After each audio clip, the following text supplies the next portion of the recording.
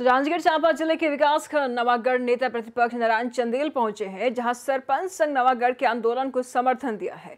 सरपंच संघ नवागढ़ द्वारा नेता प्रतिपक्ष का स्वागत फूल माला और सौल भेंट करके किया गया है। नेता प्रतिपक्ष नारायण चंदेल ने सरपंच संघ के मंच के माध्यम से उनके सभी मांगों को समर्थन प्रदान किया है। मुख्यमंत्री भूपेश बघेल पर पंचायतों के विकास के लिए कोई राशि नहीं देने का आरोप लगाया है।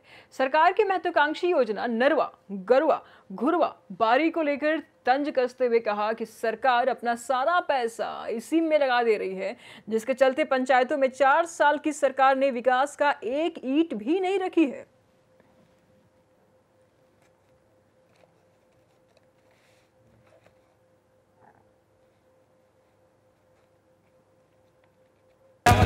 आज हम उनका आंदोलन का समर्थन करने के लिए यहाँ रुके थे। हमारे सरपंचों के साथ में निश्चित रूप से भूपेश की सरकार, कांग्रेस की सरकार न्याय कर रही अत्याचार कर रही है।